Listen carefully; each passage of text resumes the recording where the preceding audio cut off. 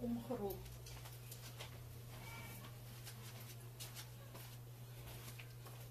Ja, zie je dat?